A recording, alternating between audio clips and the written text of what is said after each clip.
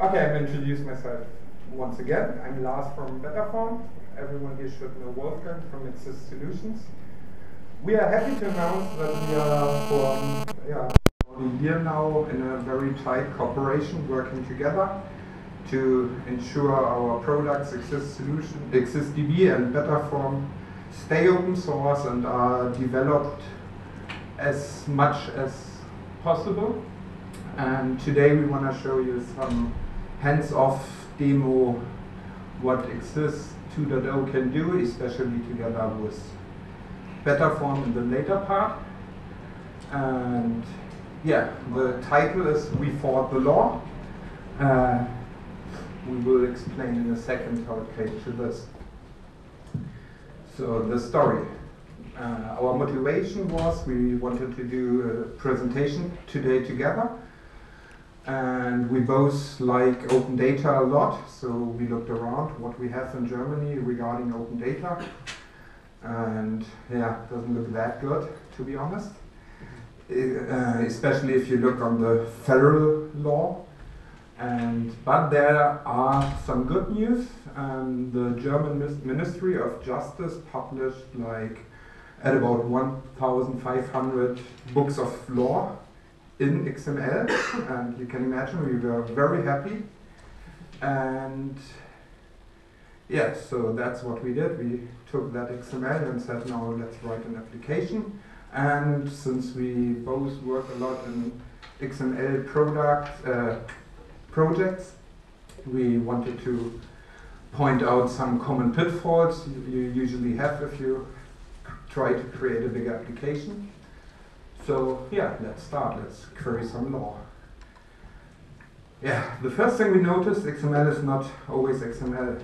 Uh, it was just flat. So there were you had paragraphs and articles and everything, but everything was simply flat, uh, which turned out to become a problem. There were lots of IDs, but they wouldn't match anything. So they were kind of useless for us in the end, we found out that there was a kind of a system you can see here. Uh, I can give you now one minute and you tell me what it does, but okay. Um, so this is chapter one. Zero to zero would be chapter two. And this is chapter three. So we did some string matching uh, this, uh, divided the string lengths by three and then try to find out in which chapter we are. And the nice thing is a paragraph of the German law can be in chapter, in section one or 1.1.5 or something. So there's absolutely no rule where you find the paragraphs or the introduction or this or that. And they don't even have any key, keywords for that, except from the title. You get the title, you get the name of the law, that's easy. But and from the moment on you want to get paragraph 5 of our civil law, yeah, you run into problems.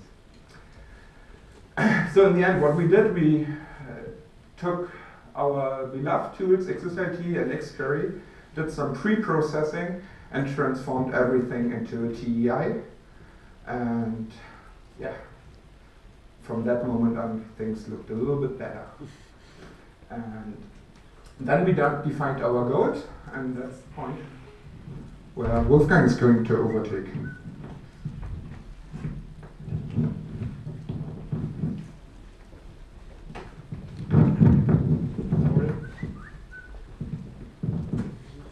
Okay. Um, so Lars is going uh, to show you some really nifty things you can do with, with Xforms and uh, this data. Um, but to prepare for that, we have to step back a bit and um, look at how to organize an application like this. And our goals in this respect was to have throughout the application um, a clean separation of concerns. So um, our HTML views uh, should be cleanly separated from our application logic, which is in XQuery. Um, and that should be separated from the data for sure, from the model behind it. Uh, we do that because we both often work in larger projects where you have um, a team of people and everyone in that team usually has his strength, so there are web designers and uh, people writing JavaScript stuff and other people doing the Xquery stuff in the background. So we want to have a clean separation of that. And certainly in the end, this all makes it easier to maintain an application.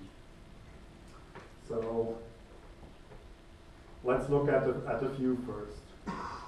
But yeah, before we start, maybe you should just get an impression of what our final application, at least the, the, the simple part, uh, Lars is going to do the, the nifty complex part later on, um, what the simple part will look like. The second one. Second one, okay. so, it looks a bit like Google right now, and uh, for sure we can now search for something, but it has to be in German. But let's try, for example, uh, ding, ding, ding. Good. Yeah, so here you get your links into uh, German laws, um, everything about beer. So as you see there, there are at least 16 matches. Um, let's just try one, and here you can read what uh, this uh, particular law, which is uh, a regulation about the allowance of uh, additives in uh, yeah additives in uh, fruit and so on. So okay, so if you search for those things, you find quite a lot of interesting um, stuff which you would have never thought uh, is regulated by some law, but yeah, it's true.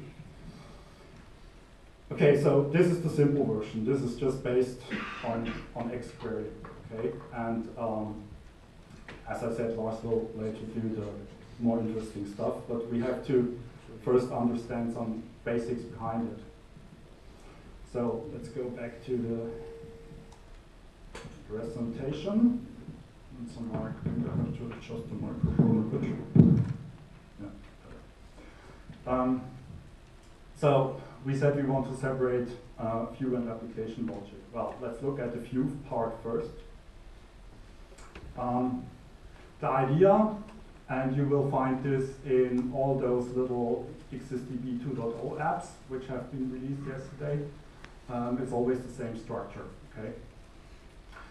So the idea is to generate as little HTML from our Xquery as possible, because yeah, we want our uh, web design gurus to be able to work on our HTML without being annoyed by this silly Xquery stuff in between. um, okay, where should the application logic, go? Sure, Xquery module functions. And um, somehow we, we, also want to pass um, template parameters uh, into our functions. So there has to be some interface between HTML and Xquery. Yeah, so how to connect HTML and Xquery? Well, two approaches. the first one, which I did uh, quite a while ago, um, was inspired by, what was it, Scala Lift, I think, um, had this first. So I found it there. Um, this uses class attributes to encode um, template calls. Ah, so you see those things here like app hit count, which presumably returns um, how many hits were found in the search. You have this app search, or you have things like templates form control, which does something. And you will also recognize that this is only a div, whereas our page looks much more, well, there, there's a page structure around it, the layout and everything. That's done by this templates around call here, which pulls in the main uh, page layout. Okay, so that's approach one. But now we have HTML5 and there's actually an H HTML5 compliant approach as well, which would be to pack those things into data attributes. Okay, so every um, well, the, the, basic idea re remains the same. The browser or an HTML tool will not be buffered by those um, attributes. It will normally just ignore it and be happy. Um, that was our goal. So uh, our web designers should be able to look at that HTML and get an impression of what the output will look like and work with it in their tools and, and do the styling and design and everything um, with, without knowing that actually there's XQuery behind. Okay, so that's the, the notation for our HTML views. And now to part two, um, the application logic, which is written in XQuery. Yeah, so the basic idea is to somehow map such a template call to a function in, in an XQuery module, okay? And here's um, the, the, actual uh, actual code for this app hit count, yeah? So what it does here is it just inserts the number of, of matches found um, our, our query um, into this span, yeah? If you look at the function, it's, it's rather simple. Um, it just returns, and we'll, we'll understand that later on, it just returns a count.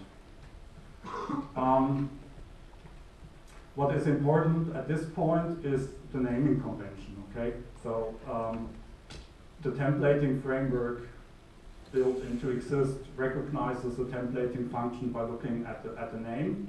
And whenever a name matches this prefix local name pattern, it will try to match it uh, to map it to a function it, it knows. Okay, How it knows the functions is, is a different question. We will look at that as well, but uh, it's, it's not that difficult to see actually. So the, the magic in the templating somehow maps this uh, data template attribute or a class attribute with the same content to app hit count, our function.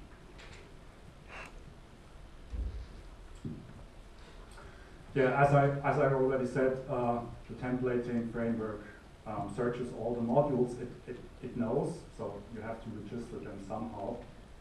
Um, in fact, just by importing them. Um, it knows how to, um, well, it, it, searches all the known modules for functions matching our app hit count. Um, that's all heavily based on XQuery free higher order function functions and would not be possible without that feature. Okay. So at least not with adding lots of Java extension stuff. So all this has been written in XQuery, by the way. So there's no, no Java code involved at all. And there are only, I think, uh, two eXist-db specific functions by the whole templating. Um, yeah, okay, so every, every function which uh, could be used as a template needs to take two default parameters but it might, may actually take uh, more. You'll see that in a second. Yeah, let's go back to the to the function signature of our function. So um, as you see, it has those two default parameters, and they are always the same. So every templating function has to have those two parameters, otherwise the framework won't recognize it as a templating function. The first parameter simply contains the HTML element, um, which has triggered the, the template call. So if we just go back for a second to the, to the HTML, then the element at this point is simply a span. So that's, that's not very interesting, but there are more complex uses um, where it's really um, necessary to, to parse that element which triggers the templating. So the HTML node uh, is passed in. Um, if you are more into JavaScript programming, then uh, you could say that our node is somehow uh, equivalent to using inner HTML in, in a JavaScript. Okay, so it contains um, every the, the whole uh, tree which is currently being processed. And then there's this strange um, variable called model.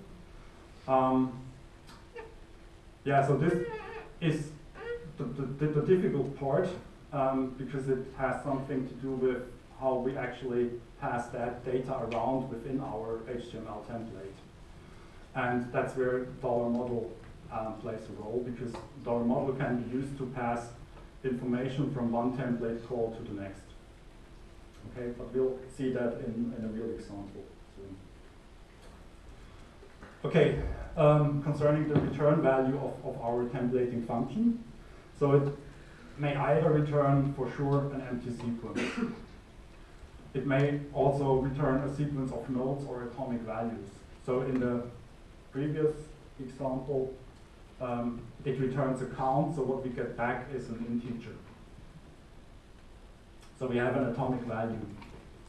Um, or, as third alternative, a function, a templating function may return a map.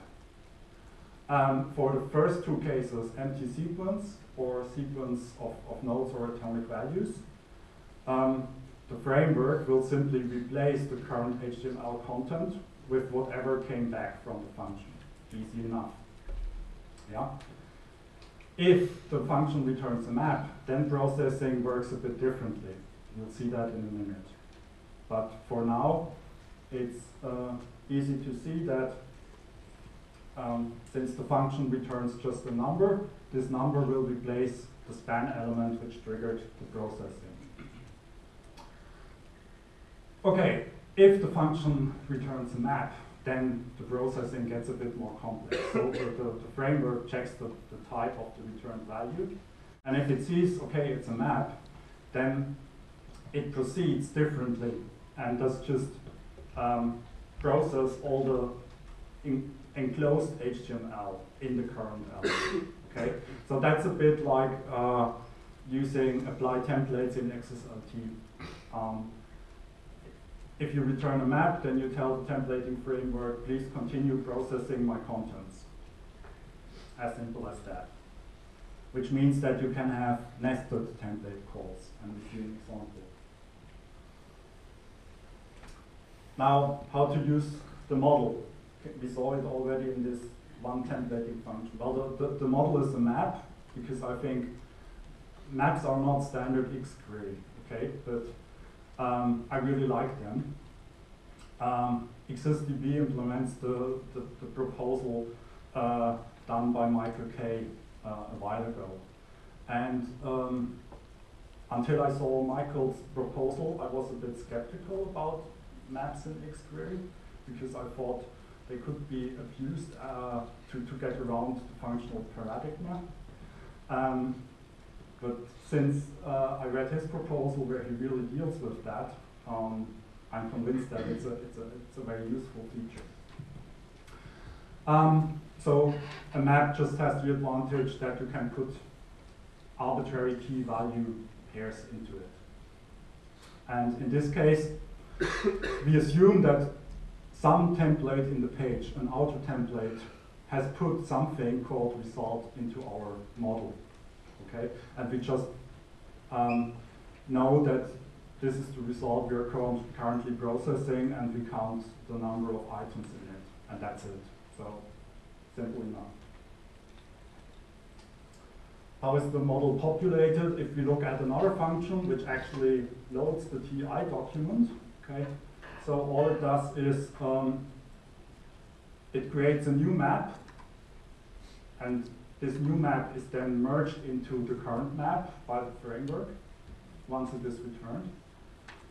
And in this map, we have one key document, and we fill this with, we map this to a value, and the value is just our TEI document. And the lookup is done by an ID parameter. Um, so that should be easy to understand, but the, the question you may now have is, where does the ID come from? Yeah. Um, uh, so the, the basic idea behind the whole templating is that uh, I wanted to use conventions instead of um, yeah, defining strict rules unless they are really needed. Okay, so and I think for, for this use case, um, convention does, does really work best. So concerning this ID variable, this ID parameter, um, the framework simply tries to make a best guess about how to fill this parameter in. Um, and this works as follows. Um, the framework, when it encounters this additional ID parameter, will first search the HTTP request parameters, and if it finds an ID in there, okay, take it. If there's no ID in the request, then we'll check the, the session, because, okay, sometimes you want to store, um, well, to cache query results in the session. And then uh, you may want to take your parameter from a session. So the, the, second step would be to check the session. And finally, if none of the, the first two um, applies, we uh, check for static template parameters, which are also possible. So you saw them on the very first slide where we had this uh, templates with um, at and so on. So those were parameters. And there's automatic type conversion. So if you define that ID as an integer, then it will, the framework will automatically try to convert it to an integer. Um, certainly errors could happen during that conversion, but you have to um, take care of that yourself. Um, so that's that's the whole parameter injection idea, and um, what I wanted to achieve was when, whenever I wrote X queries, okay, I mostly had um, one main query which did lots of request, get parameter, session, get attribute, um, and so on. And that was a bit annoying um, because you, you have to write, I don't know, 10 lines of code um, which are actually not necessary. Um, with parameter injection, I don't do that anymore. Um, it just works automatically and I just add my parameters to the function. So let's look at the, the real search function, which is, which is certainly more complex, but um, now you have some basics, uh, you may be able to understand it. Um, so it takes two parameters, the query as a string, and something called cached. Okay. Um, the query for sure is the query string the user entered, and then we'll either do a query here, or if cached was set, we just return the cached result. And then we put that into, into the, our map and return it. And um, we'll also set the session attribute cached here to the current result. So what happens is just that when, when the user enters a new query, then it will be processed and we'll do this um, query on our TEI documents. Um, if the user just browses to the next page, then uh, query will not be set, um, but we pass on this, this cached uh, attribute, which, which is from, from the session. So we can take the next page.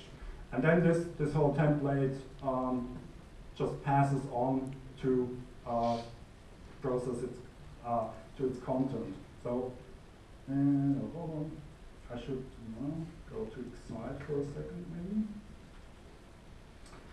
So if you look at the actual code,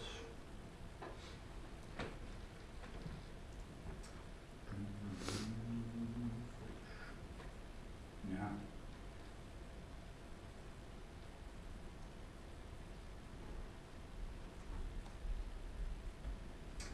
Okay, so here's here's our search function, the one we just saw. And then there's a number of sub-templates, also just functions which actually display our search result. Okay, so we have um, app search results, which is responsible for doing the actual display. Uh, we extract the title, we, we generate a quick uh, keywords in context display for every line which matched, and so on. Okay, and if you look at the the corresponding HTML.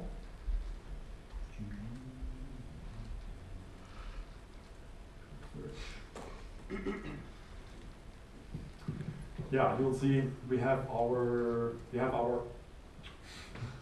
wrong button.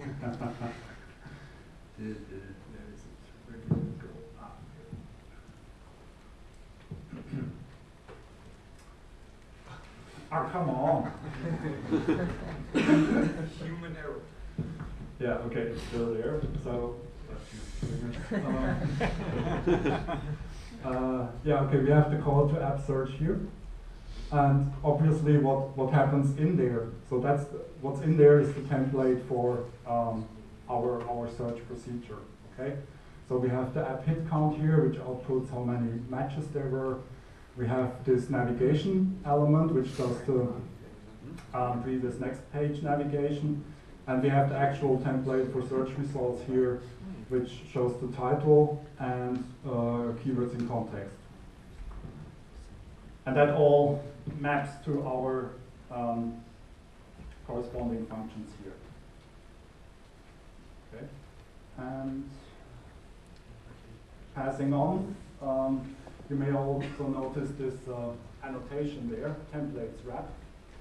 Um, so even though I, I try to do as much by convention as possible, um, there were two cases where I had to define some extra syntactic sugar, and um, XQuery function um, annotations are actually a very good way to do that.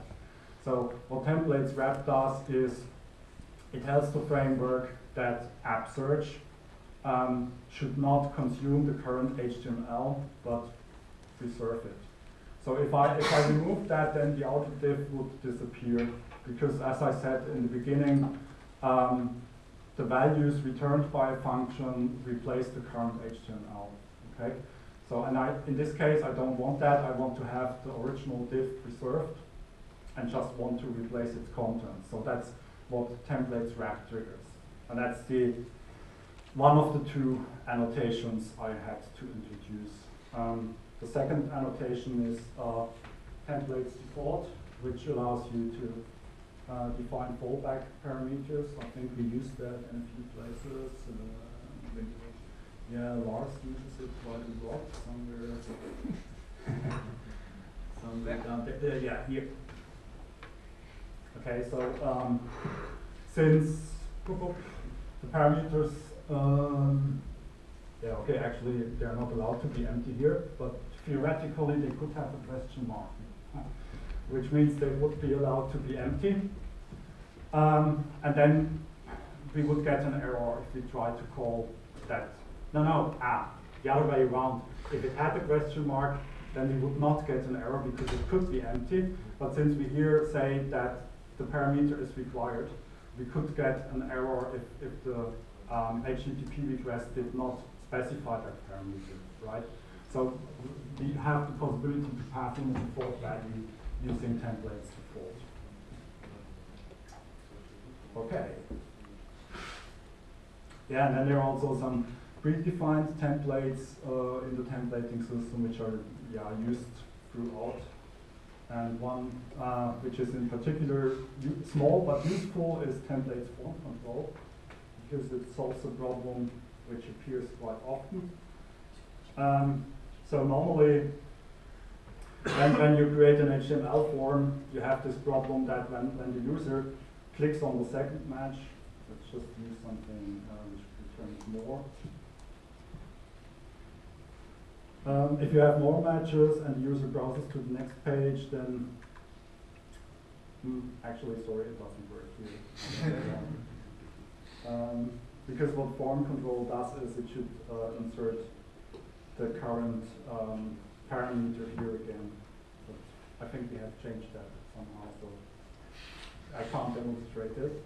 But yeah, theoretically that's what it does, and all you have to do is um, call that template within your input or select or um, whatever.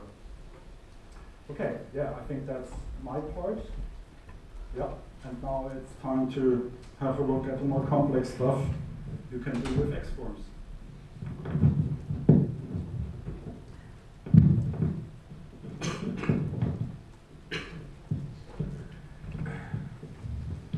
Yeah, from my perspective, it was just the other way around. So Wolf did all the thinking stuff, and I was okay. Now I got the TEI data, and what could I probably do with it? And to be honest, it's not that interesting in the first moment. So I asked myself, yeah, hmm. I, I first of all I would like to know when which law was published for the first time, because yeah, you can't see that if you have so many laws. So I, we have a betterFORM extension, a small one, to draw. Ah, which one did I? We start with the line chart. So that's what we render here. That's a, yeah, we simply map it. It's not that really interesting from the technical point of view, but at least you get some information. So now I can see uh, this was the year where most German laws were published in the last years. Uh, there were the special event in 89, some of you might remember, probably has to do with deal with that. Yeah, but nothing that special here. So I went on and yeah, because one one short thing, um, I completely used Wolfgang's template mechanism, as you can see here. It's uh, even the same templating page we use. The only thing I had to do, I had to add the XForms namespace to the template. That's the whole difference. And then I wrote my own XForms XQuery module with an expand function. And so I'm parsing, parsing everything beneath this XForms expand uh, XQuery function and generate XForms controls out of HTML, HTML5. And next thing was, okay, yeah, we have this timeline at better in the betterFORM package. That could be nice. And so we draw a timeline where I can, for sure I come to the same conclusion. Most laws are somewhere around 89, 91. Now I'm at least able to open the law to see what's it about, what's it, what's it about, and to go into it. And as always, I got a very nice one with hardly nothing in it. This sounds like yeah, air security. Okay. So here I simply rely on Wolfgang's queries and yeah, nothing special there. So then I thought, now I have to do the same what Wolf did, and I tried to connect his function with XForms. So I um, wrote, took more or less the same template. Uh, we got the input data for the search. We got the submit button. here I have a start and an end here, not that special. The interesting thing now is um, I'm generating XForms of it. Some people of you may know XForms is not only user interface markup, which is quite easy to, inter to generate an input as an XForms input, and that does match quite good. But XForms also has a model containing the instance data with submissions and all that kind of stuff. So what we do here is we say, okay, we have this data refs. So this is our instance data. We simply generate the instance of these data refs. Someone wants to submit something, so we write a default submission if we found something like this. And here we generate the submission. And we say, okay, the result should please go in here. And that's it. We, as you see, I submit the form not to an XQuery but to an HTML template. That's exactly Wolfgang's template we saw before. With one little change, because Wolfgang's next and previous trigger were simple HTML links, so he, he would load the page every time he knew I don't want to do that, I want to use Ajax. So I simply call submit. yeah, perhaps we should first have a look at that.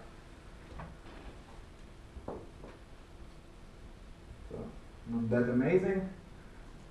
As said, we have the same input. I can search for beer as well. Uh, here I wrote myself an XQuery to populate the selects with um, data only the day, the years where a law was published. It simply doesn't make sense to search for a law in fixed, fixed uh, 1600 because no, there were no longer published. So I can say, oh no, let's start to control if everything went okay. We search over the whole period. 60 matches, looks good. Let's see what was done in this century. Ah, only, only one. So now we have a little bit more logic we can use. Um, the selects are generated as well. Can have a short look. Oh no.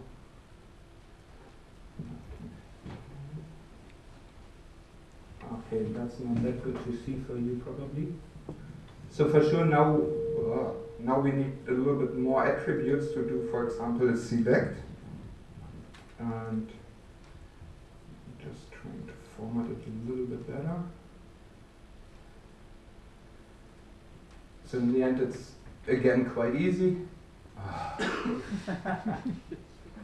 it's really broken. Okay, uh, we got the start here and the data ref show, um, that's where the selected value goes into but we have to populate the select that's the data URL and since this can be any XML as complex as you like we need to define uh, where to start that's the data item set so I want to have every codes node from within the data set. And the codes node has an attribute year, and that's a, that is used for the label as well as for the value. And ah, yeah, that's what we could see here. Uh, since the laws don't change, it's not generated on the fly, the years XML instance data, but once when uh, with the post install task after the XAR file was installed. Yes, so good so far. So far so good. And now we wanted to do something a little bit more complex. Ah no, this is the template I had to, you have seen from Wolfgang before. The only thing I had to change was to have a application XF simple search. That's where I look if the year is matching. And then I have the add pagination next trigger to render an XForms trigger there. But everything else it's, it's just the same. So I ended up a little bit, hmm, why use XForms at all? I mean, I can use HTML controls, they look nice. I can do everything in XQuery and hmm, no, no real reason so far. It's not that hard to generate the select data directly instead of going over XForms. What, there's no real sense in that. So, we'll come to that later. Yeah, that's the answer. It's the model. The XForms model is really powerful. Um, yeah, the UI, everyone has UI, that's not the big thing, but the model is really something special in XForms. And it is because you have complex bindings, you can define constraints, uh, validations, relevance, read only, you can have actions in your model, like if this no change, do this and that, and uh, uh, write down this all in a declarative way. You can have submissions and much more nice stuff like uh, schema validation. And so there are good reasons for models and even for external models. In the former sample, we uh, generated the model, so it was done on the fly, which works out quite nice for simple examples, but now I come to the situation in a project where I don't want my data to be on the client. This happens here. I every UI control, the, the instance is only created for UI controls, so the data is sent to the client and is present on the client.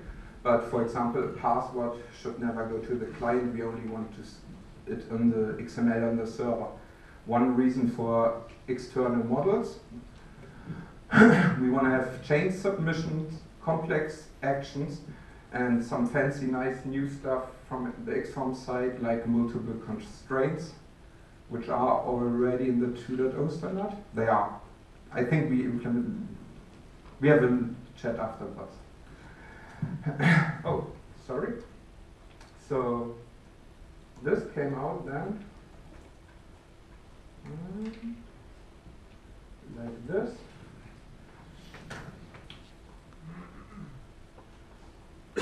we have some more advanced options now. Um, we have multiple constraints. So if I look, I want to query beer like this now. You can see I must not use the question mark. If I want to use the star, I'm told no, star is not supported yet. And same is true for the oh, dollar sign. Ah, what, am, what am I doing here? Yep. If I now take away the question mark, it's gone. So this is something we experience very often in projects. You want very good hints and alerts for the user. Very often you have multiple constraints and it simply doesn't make sense to write something, sorry, you are either too old, too young, or perhaps this happened and that's the reason why the data is not valid. You need multiple constraints here. This works for hints as well as for alerts. So that's a quite nice feature here. And yeah, for sure we can query again. We changed, I changed the query a little bit compared to Wolfgang. It's, we still found 16 paragraphs, so there's the 16 again. But now you can see it's, it's, they are found only in this, this six books. And on the right, you can directly jump into the paragraph again. This was all very, very easy to write. The queries are all very short. In the end, I can perhaps show you some. So, oh, what happened here? My documents code. Uh,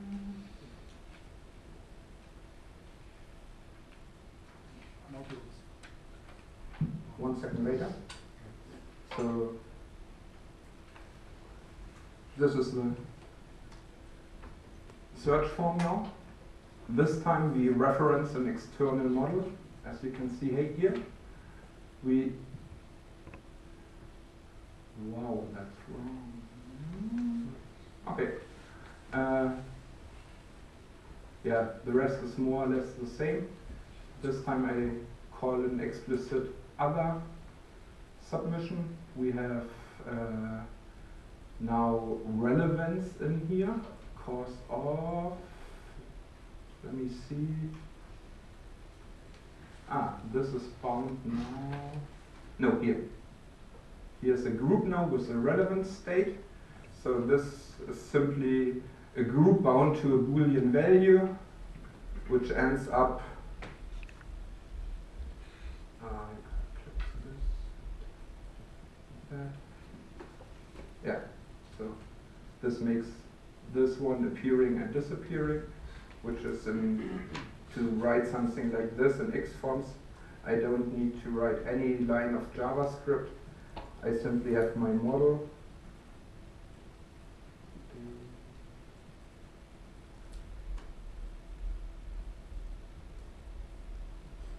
Yeah. Yeah, that's it. So this line of code, I simply say, okay, switch the Boolean state and um,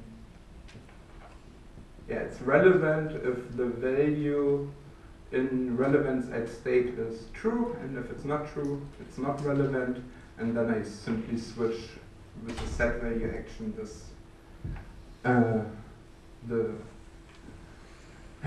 relevance node value, and that's it, and it works fine. And yeah, here you can see the multiple constraints. That's not the way like the working group has uh, is gonna come up with it now. We have to adjust this. We were a little bit forward here, and but as you can see, it's quite self-explaining. In the end, the value, uh, the node query is only valid if all three constraints are valid. If one constraint is not valid, it will display the alert, or you can write a hint down there and at the control. So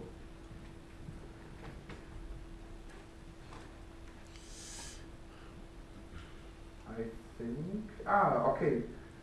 We can have a very short look in the end at the XQuery, XForms XQuery module that it used for all of that. And this is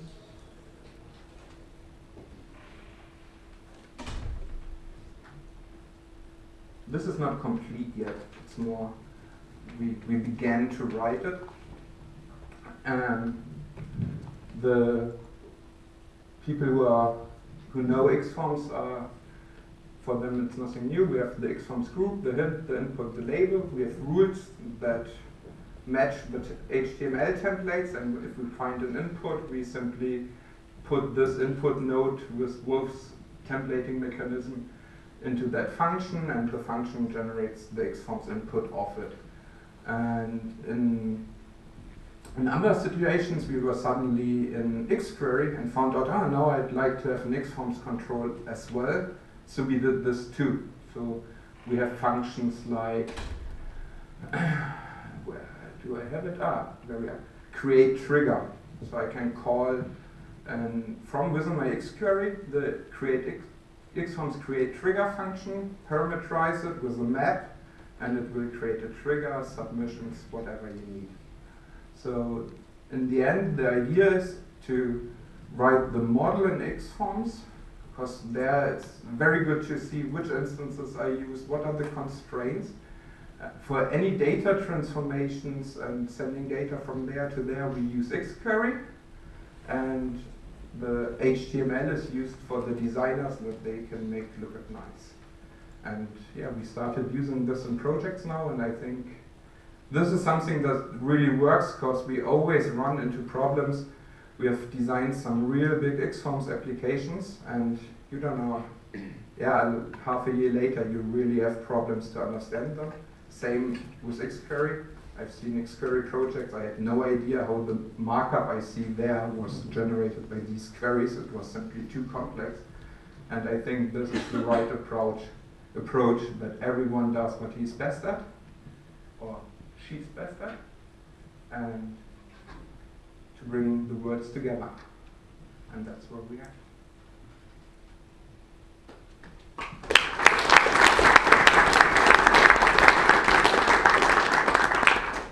Any questions?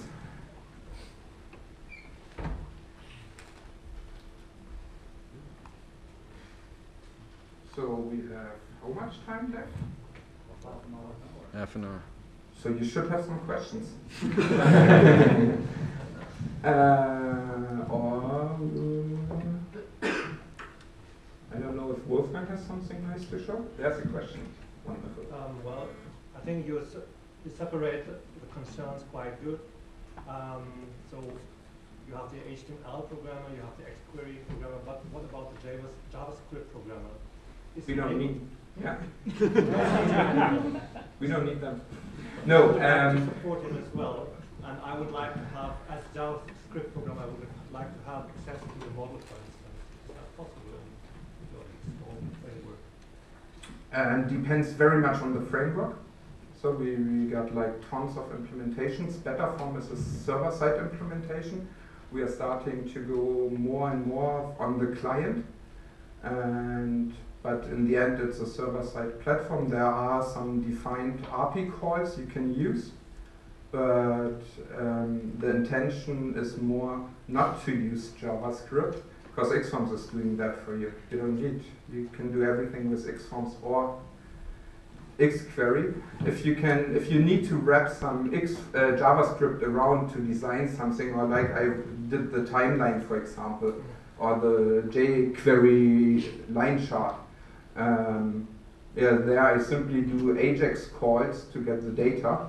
That's it, but nothing. We don't do validations, for example, in JavaScript. There are other XForms implementations. I, I haven't seen Alain here today for example, XSLTForms, would, this is a client-side implementation. There it would be for sure much easier to integrate with JavaScript. Uh, for me, it's always I, I try to use as little JavaScript as possible in our projects because we already have Xforms, Xquery, and other languages, and yeah, it's just not that big focus. You can always, if you use it as not as a user but as a developer, you can always write your own controls in jQuery, in sorry, in, in JavaScript, like yeah, I showed you here, that this is a complete JavaScript control, and I only used we used a special appearance on an input field and said, okay, that's a timeline.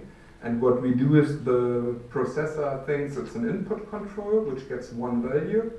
And from the markup, we simply send to the client side, okay, please render a timeline, and then it's rendered. But it's not that we have an function, uh, an RP like create xforms input, which you could call from JavaScript. Uh, and I also think the, the, the problem here coming from is that, well, when you're when you're using Xforms, it's really powerful. Okay, and um, I, I, like doing stuff in X in Xforms, but um, normally problems start to arise if, if you have to mix it with something else. Like um, there is already some HTML5 because uh, your, your, your customer does already have a, a, a, complete web design with some components in it and you can't just throw them out. So you need to mix um, somehow HTML, JavaScript, things written in jQuery, Dojo, I don't know, with um, some Xforms in between without confusing people too much. And what I really like about um, the approach Lars has taken, um, so he has kind of hidden the complexity uh, of Xforms for simple cases behind simple yeah, HTML5, which is extended on the fly. So people who are not familiar with, with Xforms won't be scared, because that's often the effect you have if people see Xforms for the first time they may get a bit scared. um, so I, that's that's the story behind it, I think. Yeah? It's not only about yeah one one good reason. The other reason is I what I really don't like about Xforms, I'm writing a simply query search with two input fields and I end up with markup like this. And in HTML5 it's like three lines of code. And I wanted to hide, the, hide this as well because this is in a way part of the complexity. It's not that hard to understand, but it's just too much text. So. Hi, uh, I was wondering why did you choose to use the uh, HTML5 data attributes and not directly XML elements like uh, Angular JS? Because in the end, I'd like to validate everything. I would really love to be able to run my HTML5 through HTML5 validation. Xforms should be valid as well and Xquery too. So uh, I don't want to introduce any foreign attributes there. It's not completely consistent already. This was more a matter of time. And in a, in a way, I understand your concern. I, I'm not completely sure. It would be al also possible to have something like data minus Xforms or better form and then write your own syntax, which you then tokenize, for example. But yeah, we, this is something we really have to experiment on now and to find the best solution. Might be that we come up and say, okay, let's do it with our own attributes. We have other issues. For example, if you take the um, complex Xforms UI controls, which have childs, you you can't match everything to attributes. It's getting ridiculous at one point. So in the samples I used here, I don't know think I did it here already. Yeah, here I mixed it, you can see. So I simply wrote at some point some Xforms because I wasn't able to write the Xforms Xquery module um, to the end until today. And yeah, the discussion just start, started. So there will be more to come in the next weeks. we had to do one little extension. Some of you might know we came up two years ago with the load embed mechanism, where we um, patched the specification a little bit, the XFORM specification, so we are able to load subforms into an existing form at runtime, because it was uh, too static for us, XForms. XForms, and at that point of time, thought very much in documents, but we are developing enterprise applications, so we needed more dynamic here. And we extended this even more now, so we are now able to pass any kind of XML, and if there's XForms in it, we simply initialize it. If there's a model that fits, fine, we initialize the XForms. If not, the UI control is not relevant. That's the standard makes this clear, and so we can pass any foreign HTML, XML, whatever, and create XForms controls of it for an existing model that runs already in the page. Another question, Sure. different matter actually. Uh, you mentioned the external model for Xform. Uh, does that mean that you have a, in, in the browser is actually talking with the server about the model's data? And Yeah. Is that a live connection like real time or it on, on request only? And it's no push. It's only um, so the server, uh, the client sends events if something happens. We have no push yet implemented. We have a customer that wants it, hopefully, because we'd love to do that. And yeah, so at the moment it's only the client triggers something and gets via Ajax the result. And that's not the other way around.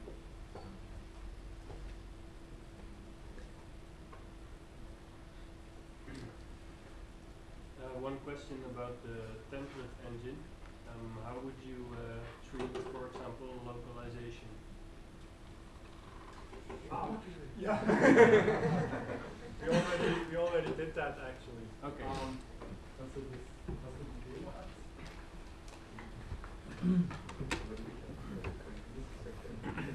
Yeah, okay. Yeah, that, so internationalization was requested by a customer, um, and we, we already wrote a module for that, which is part of the existing demo app, so, uh, you can get it as, as part of that package. Um, is it special?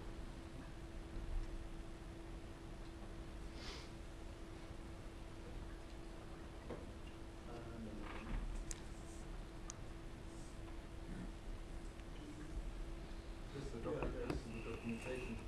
Hmm? Oh, that's the documentation. Okay, so we can put it. Um, uh,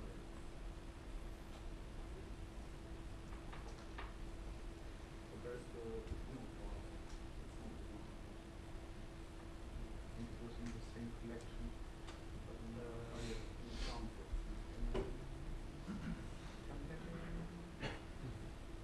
The second one.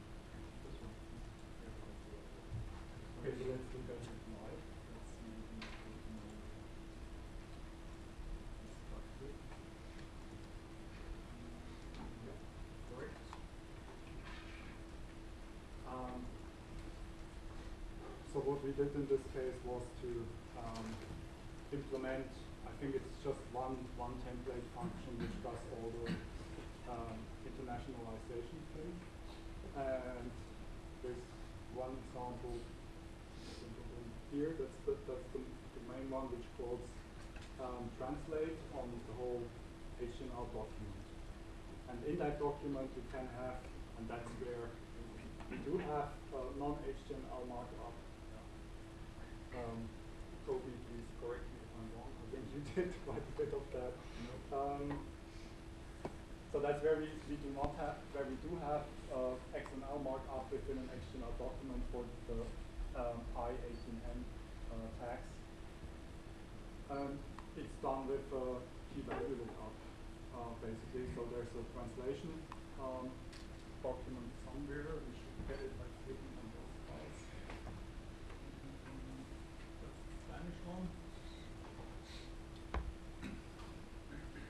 So that's the that's the, the, the Spanish language file, and yeah, it looks like you know it from from uh, other implementations like uh, placeholders and things like that, so it can be parameterized. And yeah, and if you look at the demo, there's a little example. so it should be to understand if you look at the source code. So here we have uh, this I 1810 translate, um, which takes a parameter, so that translates the parameter and so on, and here it outputs the text. So everything is key value based, basically.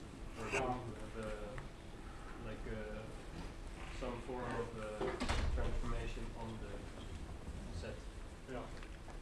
And a real application, you would probably use XForms for internationalization.